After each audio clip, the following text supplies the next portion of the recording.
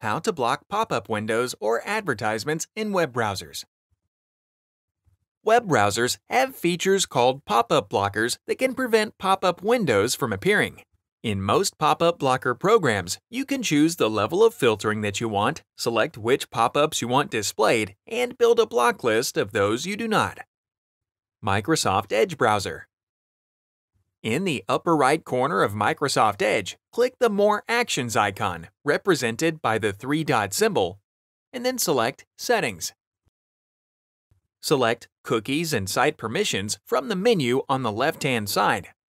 Scroll down and select Pop-ups and Redirects from the Cookies and Site Permissions menu. Slide the Block Recommended slider to On. To block or allow certain sites to have pop-ups, you can select the Add button next to the Allow or Block sections and paste the website link into the field. Select Add to add the website to the list.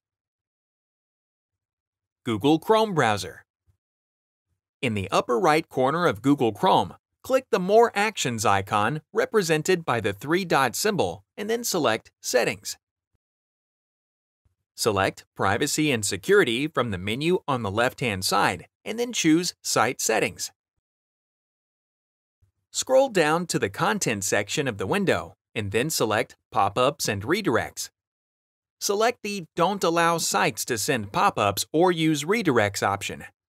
To block or allow certain sites to have pop-ups, you can select the Add button next to the Not allowed to send pop-ups or use redirects or Allowed to send pop-ups or use redirects sections, and paste the website link into the field. Select Add to add the website to the list. Mozilla Firefox Browser in the upper right corner of Mozilla Firefox, click the More Actions icon represented by the three-line symbol, and then select Settings.